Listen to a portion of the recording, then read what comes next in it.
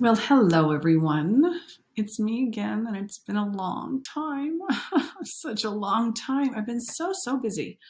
but I have a good book for you. It's called A Cape.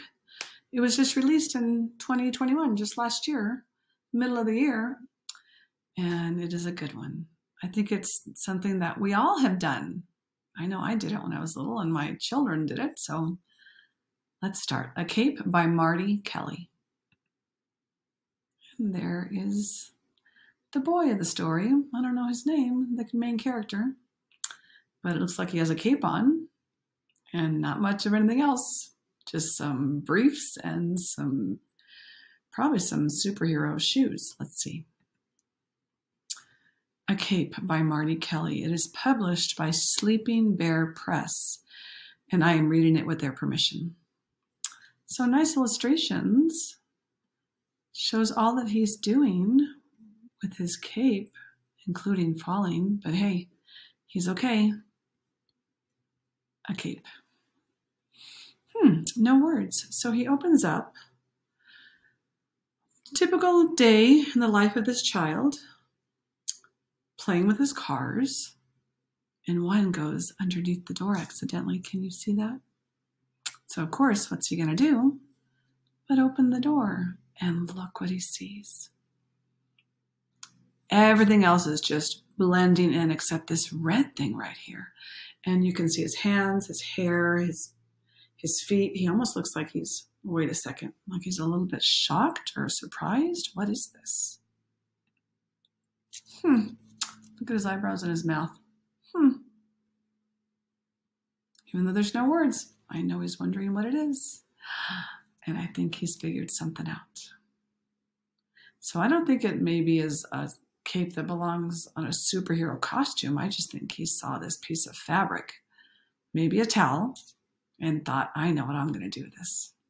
He used his imagination. So off with the shorts, off with the shirt, and off he goes. Ooh, ooh, look at all this. Huh it's in black and white. And then look, as it goes on, it gets in more and more color.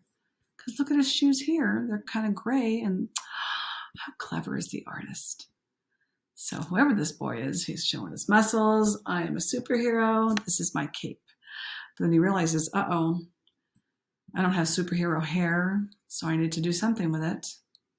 And look, it stayed. So, he must have put some product in it, do you think? Product there it is, thumbs up. Ooh, now I can practice. Sneaking around, making no noise. Hmm, what's he doing there?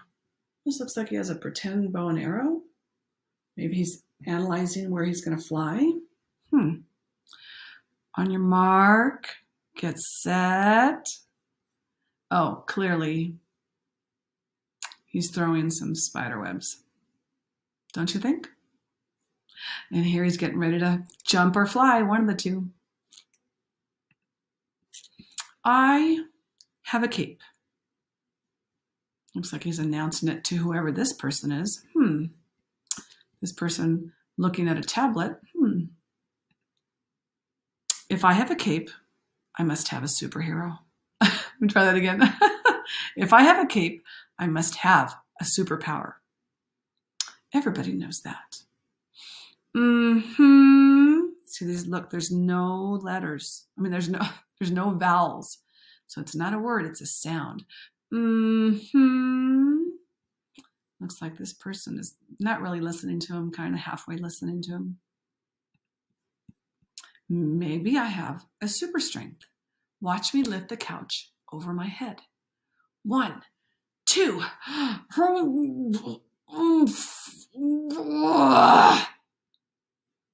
you're going to hurt yourself. So Sofas are heavy. You can see why I couldn't pick that up. I must be able to turn invisible. Swoosh! You can't see me. Yes, I can. See, now this tells me he's very young because when you're young and you cover your face with a fabric or a piece of cloth, or even if you're just hiding, you don't believe anybody can see you. So he must be young. I can fly. Please don't jump on the couch. Oh, remember those days? Well, maybe you still do them. We would jump off the couch and we felt like we were flying. I can probably read minds. Think of something and I'll tell you what you're thinking about.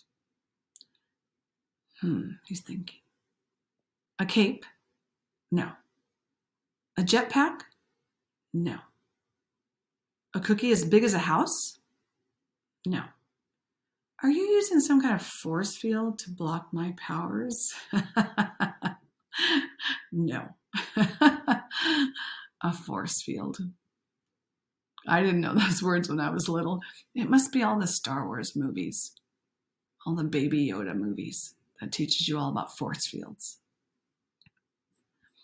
Prepare to be frozen by my super freeze blast breath.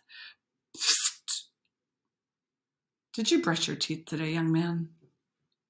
Uh oh, yes, bad breath. Watch me run faster than a jet powered cheetah wearing turbo rocket sneakers. See, I told you, these are superpower superhero sneakers. Watch me run faster than a jet powered cheetah wearing turbo rocket sneakers. No running in the house. His dad doesn't seem very interested. But I have a cape. I must have some kind of superpower. Well, you have a super power, powerful imagination. Not everybody has that. That's very true. Not everybody has that. And his imagination is pretty amazing. Yeah, that's right. Do you know what I'm imagining now? No. What? Ooh, looks like he's pushing his dad somewhere. And it looks like his dad is laughing, so maybe he knows where they're going. Two superheroes in the house. Oh, and look, he put on his shirt. Can we go backwards? He put on his, well, I'm imagining that shirt was light blue. And then he put the shirt around his, his collar, his, his neck. You can turn anything into a cape. Use your imagination. Oh, the little boy looks so happy. He never had a name. I have a feeling that's probably what the author did when he was little. So I'll call him Marty. Look at Marty and his dad. Marty's so happy. I think that's the end. Oh, one more picture. This is a picture of my son. Ooh, about 20, 21 years ago. He had just gotten out of the bath.